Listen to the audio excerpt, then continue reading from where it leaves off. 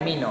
Vamos a necesitar una bola de helado de vainilla, vamos a necesitar hielos adicionales para que quede en consistencia de frappé, vamos a necesitar dos cucharadas de cremino y vamos a necesitar un poco de leche evaporada para poder ajustar consistencia. No necesitamos azúcar porque el dulzor o las propiedades edulcorantes nos las dan tanto el helado de vainilla como cremino. La vamos a mezclar hasta obtener una consistencia homogénea y una vez que tengamos eso, falta ponerle un popote y disfrutarla. Muchísimas gracias. El cremino, ¿cómo tiene que estar nada más? El cremino, vean, tiene que estar en esta consistencia. Si no la tiene, bueno, la ajustamos y le vamos a mezclar un poquito para que nos ayudemos a tener así la consistencia. ¿Dale?